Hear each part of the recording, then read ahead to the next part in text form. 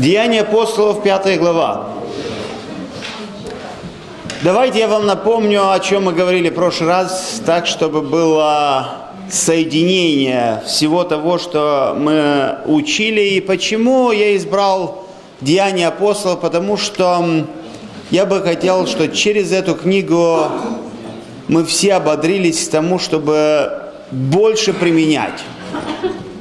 Когда говоришь сложную проповедь, люди могут понять что-то, люди могут не понять. Но когда ты проповедуешь на деяния, где все рассказы, невозможно не понять. Поэтому, в конце концов, Господь не, никогда не направлял свой взор на знание. Наоборот, Он говорил все время о применении. И поэтому я бы хотел, чтобы каждый из этой главы взял что-то, то, что можно будет думать, молиться в течение недели и позволить Духу Святому укрепить, закрепить и практиковать через нас. Четвертая глава мы увидели двух апостолов закрытых, закрытых, и они были судимы, судимы за доброе, и в конце концов а, это, этот суд повернулся большой проповеди Петра. У Петра вообще-то в Деянии апостол всего лишь пять проповедей. Одна во второй главе, другая в третьей, в четвертой, э, в пятой и последняя в десятой главе. Есть еще одно выступление в первой главе перед верующими, но мы считаем проповеди, которые евангелизационные для того, чтобы люди пришли к Богу. И вот четвертая проповедь будет в этой главе, в пятой, но перед этим он выступил э, перед судом, и вместо того, чтобы они обвинили их, его, он обвинил их. И мы знаем, чем закончилось это. Закончилось тем, что он пришел в церковь, церковь помолилась, и э, после того, как помолилась о, смелости, вот то место, где они находились, э, находились, сотряслось, и мы читаем дальше с 32 стиха. «Все множество у верующих было едино сердце и душой. Никто не считал, что его имущество принадлежит лично ему, но все у них было общее». Другими словами, нигде не сказано в Библии, чтобы мы продавали свое имение и делали все общее. Даже здесь мы находим, что в пятой главе мы находим, что это было их решение, никто от них не требовал, никто им даже не подсказал этому делать. И мы э, понимаем, что это не является правилом в церкви. Но я бы хотел, чтобы вы посмотрели очень четко на контекст. На контекст, контекст такой. Они помолились, помолилась, э, помолились о смелости, вдруг они стали смелыми, несмотря на всю опасность. Они вышли на улицу, и вот эта смелость, проповедь слова объединила их. Потому что следующий стих говорит, все множество у верующих было едино сердцем, едино душою. То есть, если мы хотим больше единства, это единство не произойдет, сидя в церкви, это единство произойдет, если мы будем на улице что-то делать вместе. Результат всегда единство. Но когда мы говорим о единстве, единство может дойти до какого-то уровня. Единство эмоциональное, единство может быть э, в мышлении.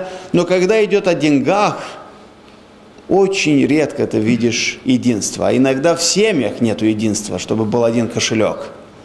То есть когда доходит до материального, тогда, может быть, является это настоящим тестом, есть единство или нет.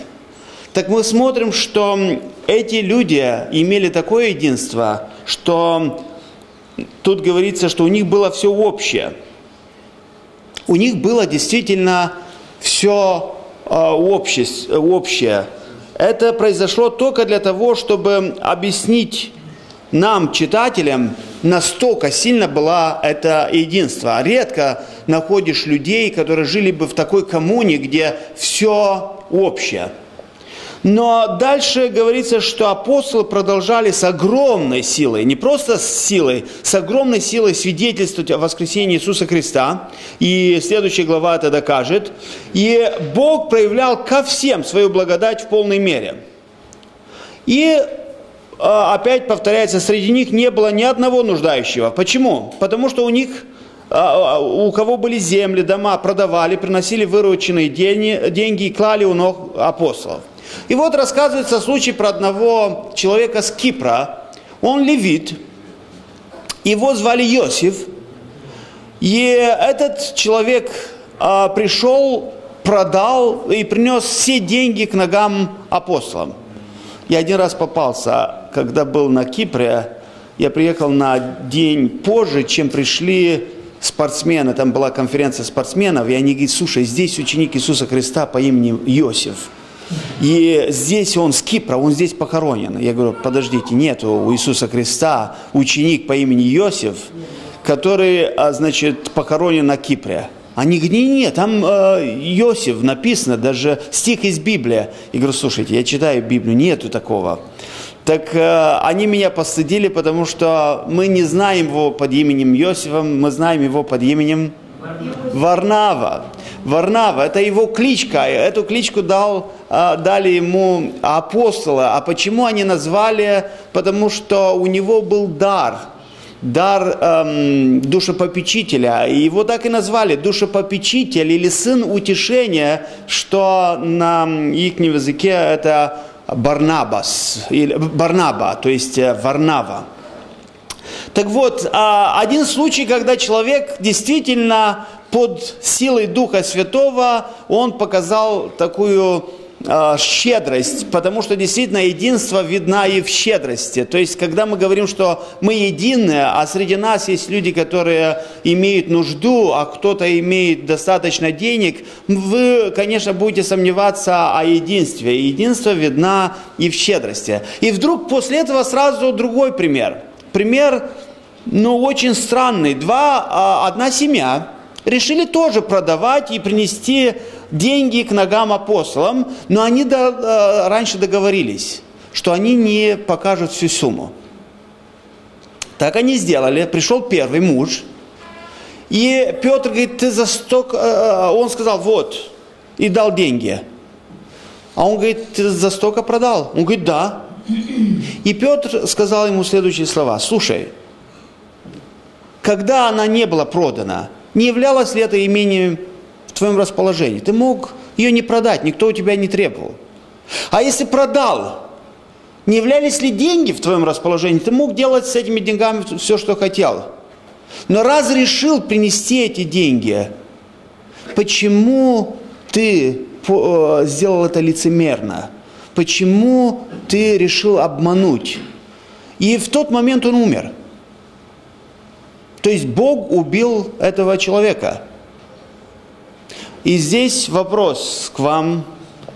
Кто, кого вы знаете в Библии, что была вдовой всего лишь три часа? Жена. Она пришла через три часа, и Петр сразу проверил, за столько вы продали э, имение? Она говорит, да. И он говорит, слушай, вот те, которые похоронили твоего мужа, они вот еще, у них э, земля свежая на ботинках, они тебя сейчас уведут, и она умерла сразу. Ну, разумеется, э, ты бы не хотел войти в церковь, где бы тебя уносили ногами вперед, если ты нечистый. И, разумеется, эффект заимелся сразу. И мы читаем дальше, что никто из посторонних не смели не смели присоединиться к ним. То есть это было очень сильное очищение церкви. Их стало меньше сразу. Сначала их были много-много тысяч, но как только это произошло, многие люди посчитали лучше сидеть дома, чем объединяться с теми, которые это может оказаться фатальным. Зачем вообще Бог это сделал?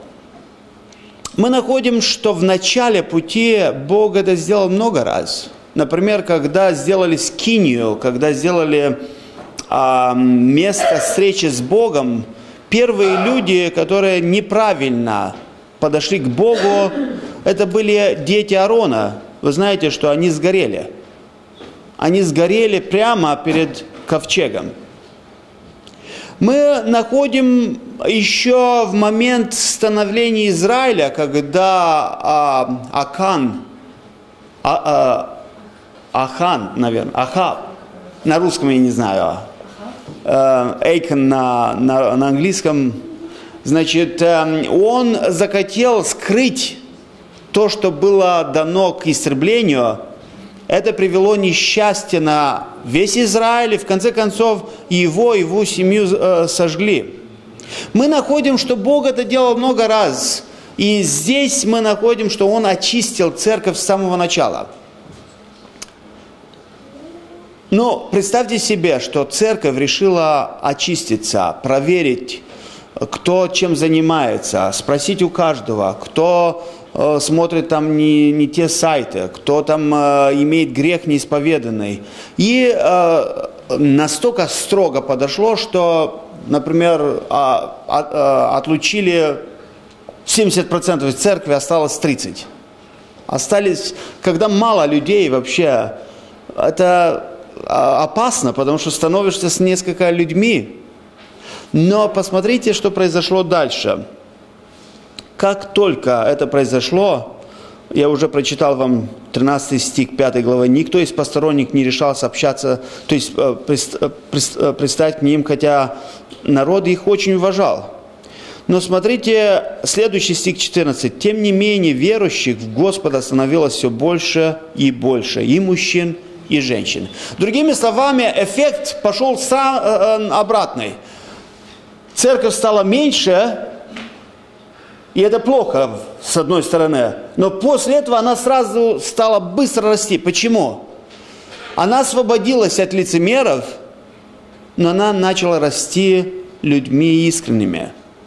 Еще раз, в то время каждый бы подумал, что если я пойду в церковь, и я не чистый, я не проверил себя, я не помолился Богу, я не исследовал себя – то меня могут выносить ногами вперед. Поэтому это было очень-очень значит, эм, серьезно. Когда я говорю идти в церковь, не сравнивайте с нашим хождением в церкви. Я сравниваю это только с одним. Когда церковь собиралась, та группа людей собиралась по домам, где они не собирались, в парке или там в катакомбах. Вот когда они соединяются вместе, и ты будешь прославлять Бога, может быть, произойдет что-то страшное. После, после этого Бог не был так строгим, Он всегда давал людям годы покаяния. Но в то время, в начале, Бог очистил церковь свою для того, чтобы показать стандарт, показать пример, показать, как должна быть церковь. Мы знаем, что после того, как церковь очистилась, сразу она начала расти больше и больше – но мы находим невероятные, невероятные э, высказывания о церкви того времени. Люди выносили на улицы больных, клали их на кровати, на циновках, чтобы хоть тень Петра упала на них, когда он будет проходить мимо. Из городов, что были вблизи Иерусалима, проходили, э, приходили толпы людей. Они приносили больных, одержимых, нечистыми духами. Все исцелялось, все исцелялись. То есть, другими словами, э, почему они были в уважении у всего народа? Потому что вдруг э, люди получали очень много помощи от присутствия такой церкви в их месте. То есть после того, как церковь очищается, что делает Господь с ними? Через них Он делает исцеление, Он делает чудеса, Он может работать через сосуд чистый. И посмотрите, как и сказал, э, как сказал Иисус. Иисус сказал, что если поверите, вы будете делать дела больше. Мы знаем, что мы не находим в Евангелиях, чтобы тень Христа кого-то исцелил. Мы находим, что кто-то коснулся креста и исцелился, но мы не находим, что прямо так ставили людей, и когда Христос проходил, тень э, Христа исцелил. Почему? Потому что Бог захотел показать удивительное, что присутствие Духа Святого, присутствие Духа Святого в тебе может совершать чудеса. И как Христос сказал, будут происходить больше чудеса, так и происходило. Но кого-то это очень сильно встревожило. Когда весь народ радовался, как вы думаете, кто не радовался? И когда мы читаем, мы понимаем, что в наши дни есть одна категория людей, которые не радуются а, того, что Бог делает чудеса. Кто эта категория людей? Законники, религиозные люди, люди, которые тревожатся, что то, что происходит, не совпадает с их пониманием Бога. И вот так и мы находим в 17 стихе. Первосвященник и все приближенные, принадлежащие к партии Садукеев, были переполнены завистью. И сразу говорится, почему а, религиозные люди не, не а, радуются. И они всегда будут критиковать. Они всегда будут критиковать всех, которые вокруг них. Почему? Потому что они, когда видят свободу, они э, дико обижаются. Почему? Из-за зависти. Они арестовали апостолов, заключили их в городскую темницу. И на второй день все собрались судить апостолов. Пошли, нашли, а, значит, темницу или, а, значит, закрытую людей, которые сторожили их у входа, открыли там никого.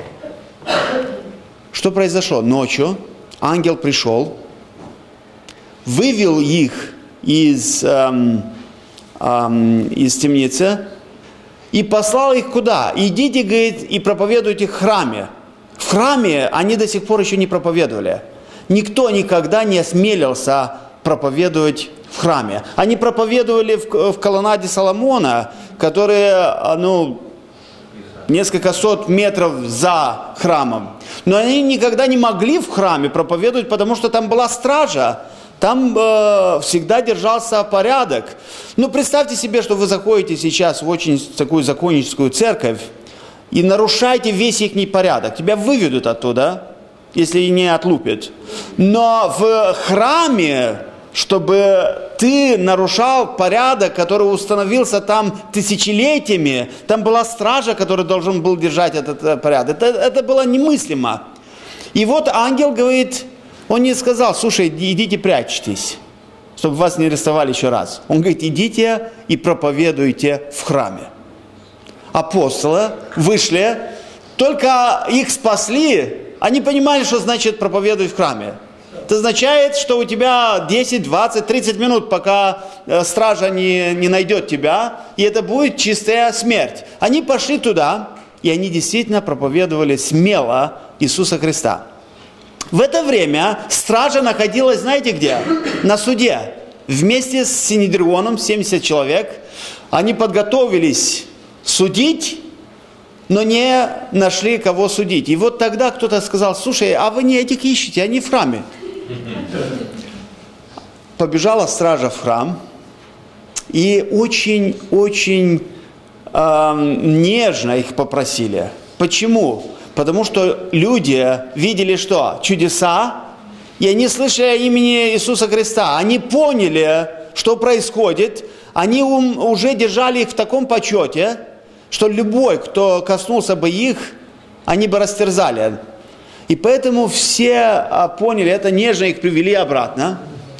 И сказали, не сказали мы вам, не предупредили, сколько раз вам нужно говорить, что вам нельзя говорить о имени Иисуса Христа. И вот здесь Петр встает и говорит свою четвертую проповедь.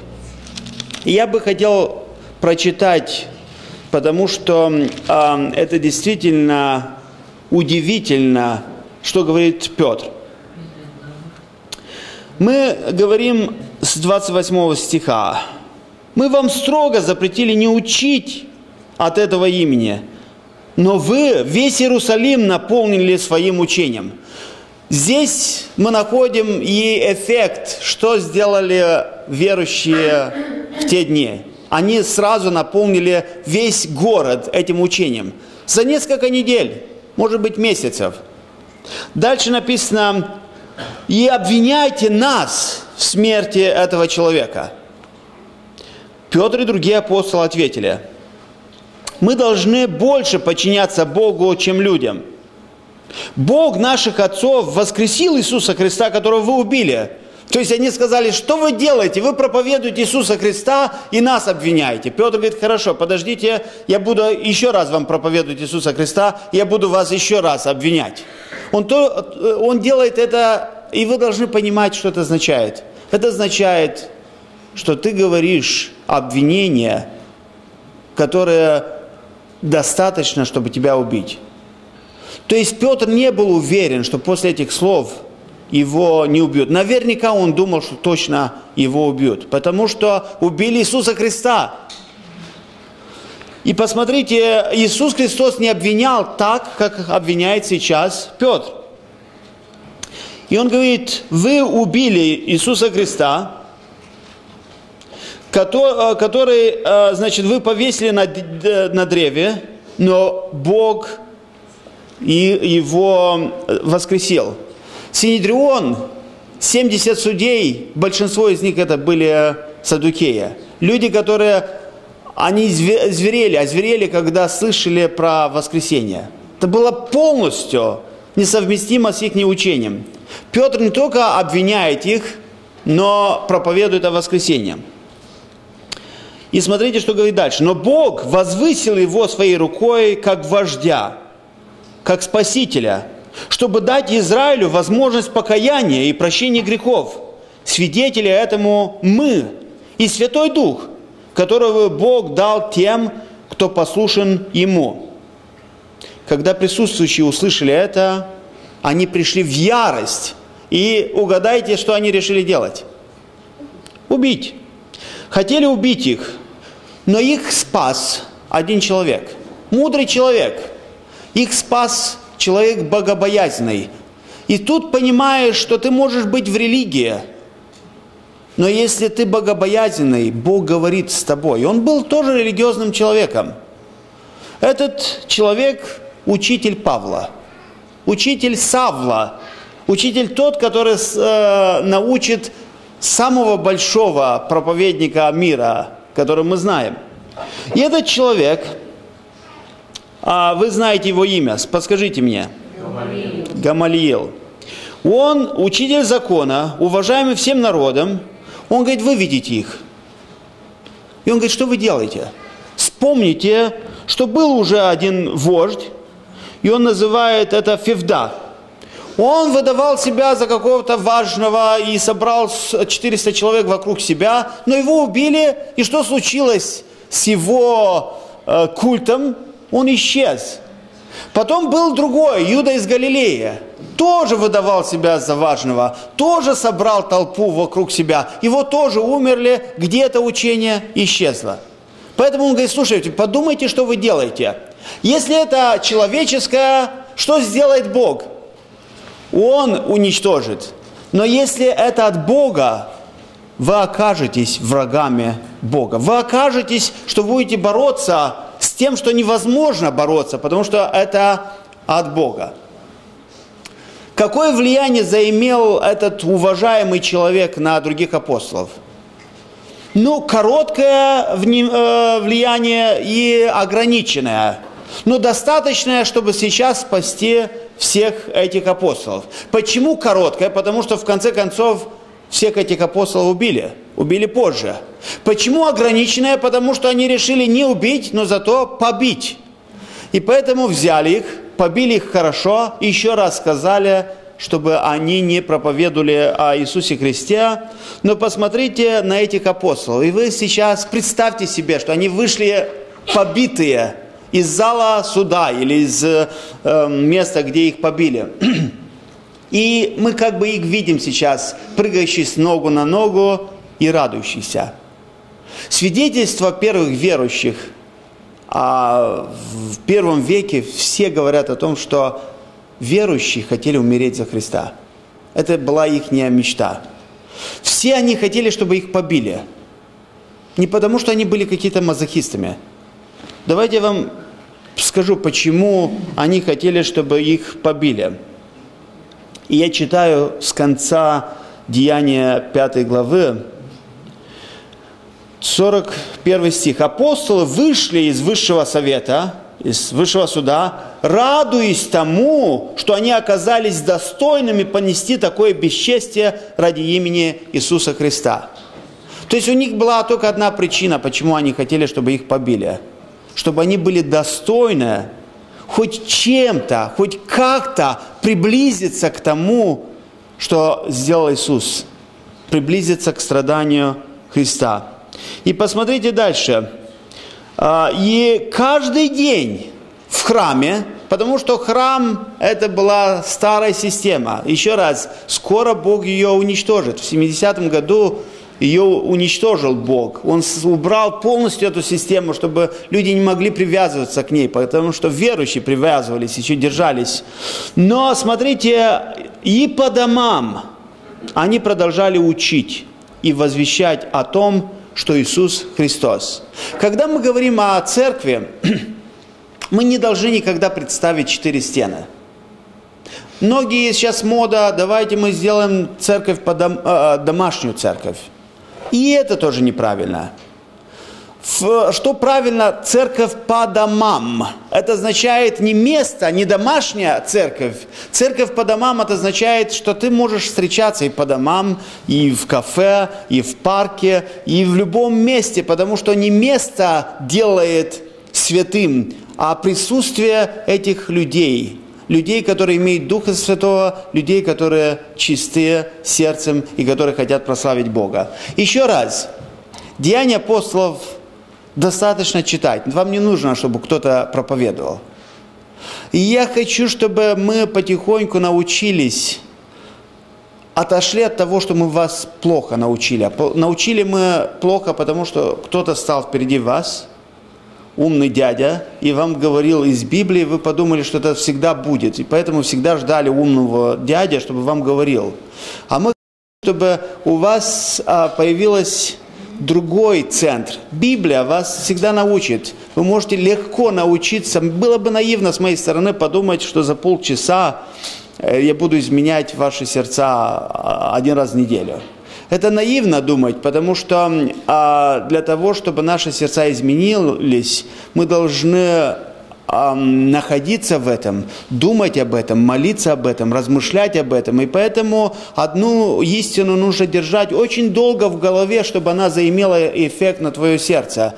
А если слышишь проповеди, через полчаса забыл, практически это ничего не помогает. И поэтому а еще раз я э, избрал деяния апостолов, чтобы вы не были нацелены на что-то новое, потому что наверняка новое вы не найдете здесь ничего, а вы знаете уже все. Но чтобы вы нацеливались, Боже, если ты мне еще раз об этом говоришь, что я могу применять на этой неделе?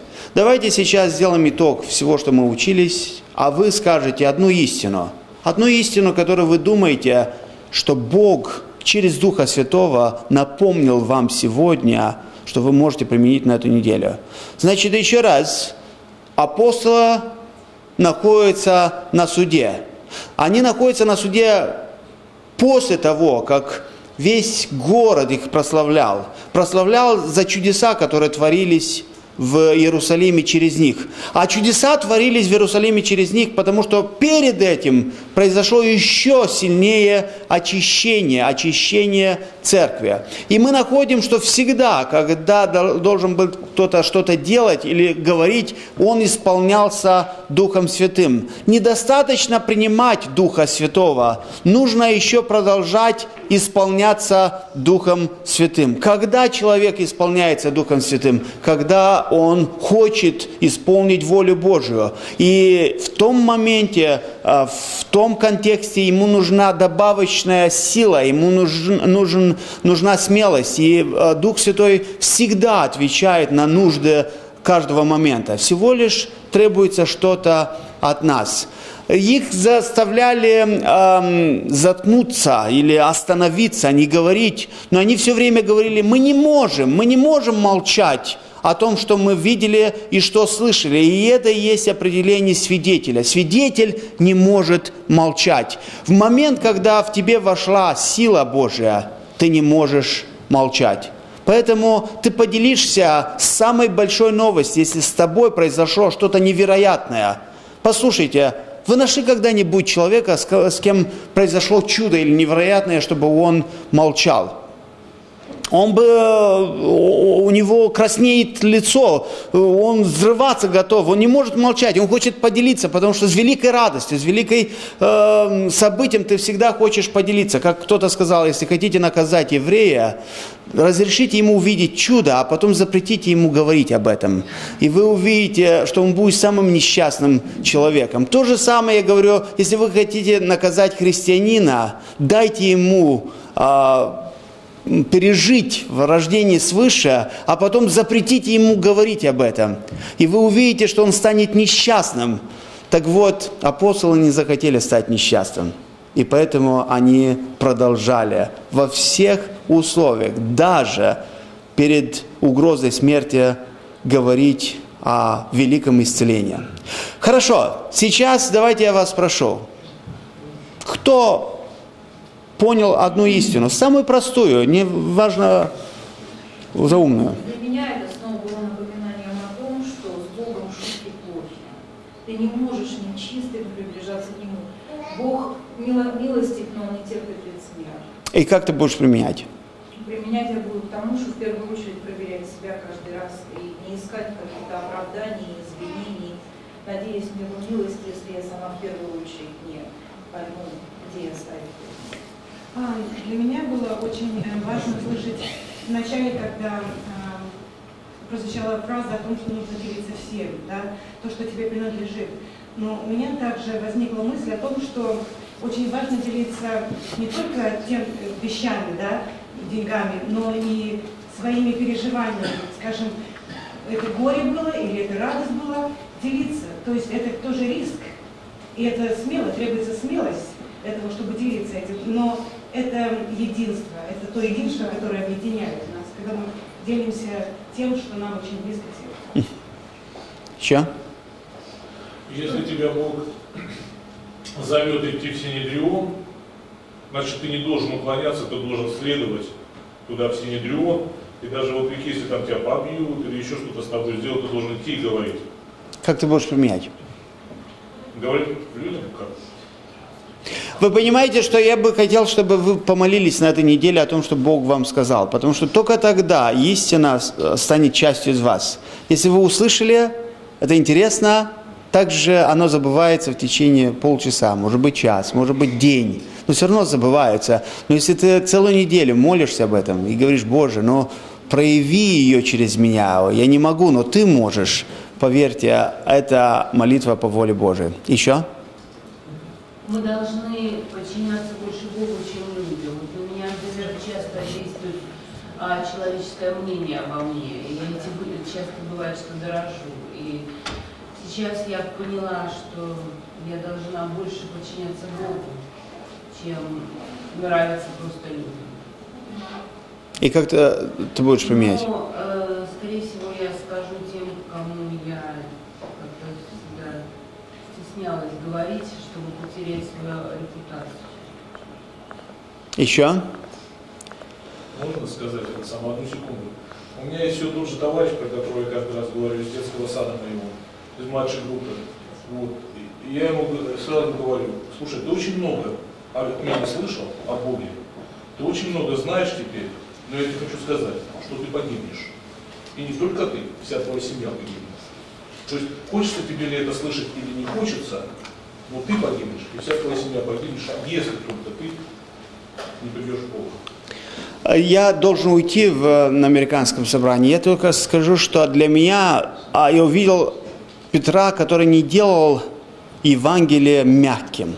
Я увижу много раз, когда я говорю с людьми, я делаю ее очень мягким, чтобы человек принял. А он э, давал Евангелие, как оно есть. И это для меня, чтобы молился, чтобы у меня было достаточно смелости говорить там, где нужно обвинять, обвинять, говорить э, истину, потому что человек, в конце концов, искренний человек оценит, что э, ты сказал правду, ты сказал правду, какое, какая она есть. Правда, которая сделана мягкой, это уже не, не правда. Эм, сейчас эм, Олег...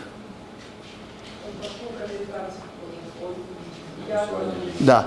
Значит, э, Саша берет дальше эм, управление, руль, эм, объявление говорите все. Я э, думаю, что успею до, до конца. Давайте мы помолимся. То есть вы помолитесь без меня, потому что я должен